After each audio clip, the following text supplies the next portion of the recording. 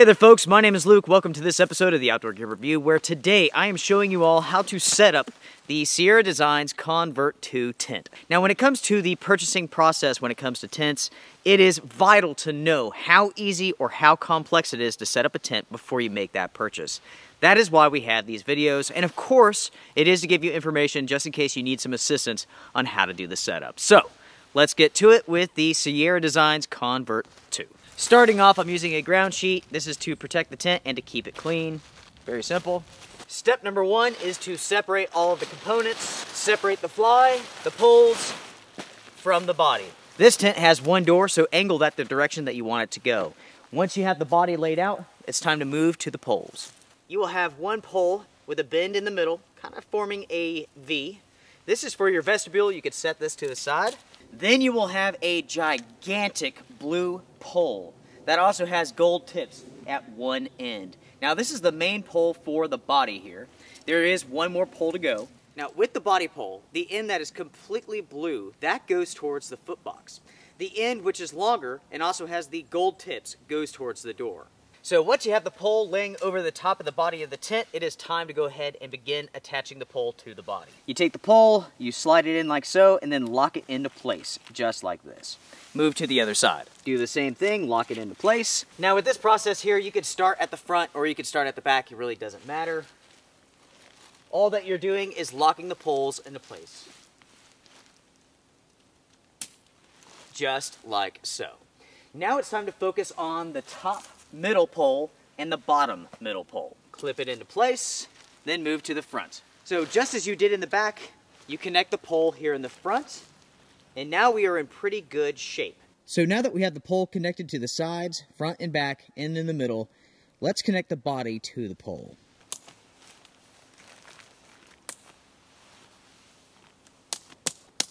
As you can see here, the body simply snaps onto the pole.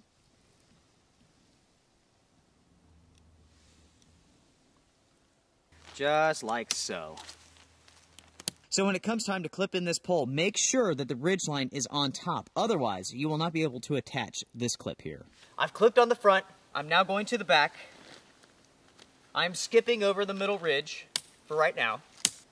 And that is because we have one more pole to add to the body. Now this one is a cross support pole. It goes underneath the blue ridge pole, snaps into place just like the others and then it snaps on to the blue pole.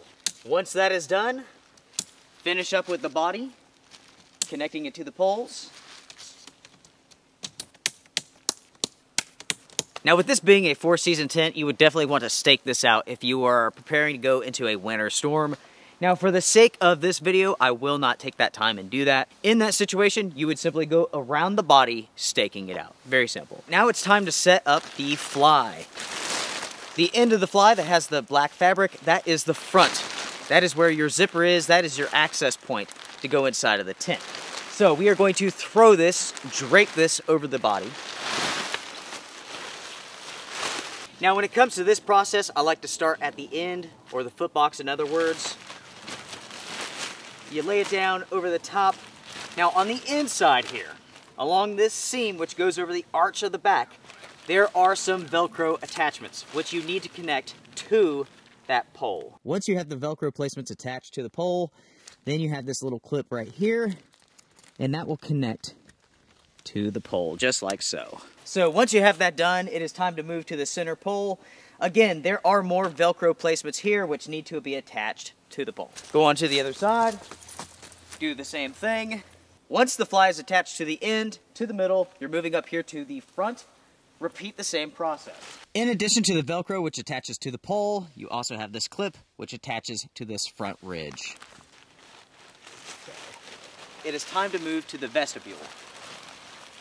That is where the blue V-pole comes into play. On each side, you have a grommet. Once you have the pole into the grommets, attach the fly, both sides. Down here at the bottom, Grab this string, pull it nice and tight, then put it into place. Just like so. Now that the fly is fully attached to the body of the tent, the poles, and so on, it would be time to stake out the fly. Now here in the mountains, it has been extremely cold, so the ground is 100% frozen. So for the sake of this video, I will have to skip that step. Here's some pro tips for you if the ground is frozen. Now, if you have a ton of snow, you could do a snow anchor. You can look that up, or I'll show that off in the future episode. Let's say you don't have any snow, you can use rocks. Piles of rocks, tie it up, it works perfectly. It is at this point now that I would walk around the tent, making all of my adjustments, making sure everything's nice and tight. I would then be staking out all of my guy lines. Here at the vestibule, the body, towards the back of the body, and at the rear of the tent. All right, so there you go. That is how you set up the Sierra Designs Convert 2 tent. All in all, it's a fairly simple process, but it is a very time-consuming process. I have set this tent up more times than I can count. I'm very, very good at it. I know exactly what I'm doing. And even today, with these very calm conditions, winds around five miles an hour, this took roughly 15 minutes to set up. Now, in a stormy situation, it's even harder, it takes even longer. So without a doubt, it takes a while to set up this tent. But that is a common trait with most four season tents, not all. There are four season tents out on the market which you could set up just like that. But there is always a trade-off for that. You have the ease of use, but there comes poor ventilation, moisture control, and so on. There's always a trade-off.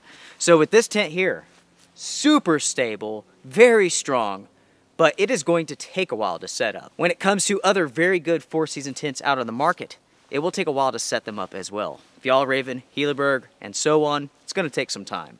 That is a trait, a characteristic to a good fourth season tent. So now that you've seen how to set up this tent here, you can decide for yourself if this is the right tent for you.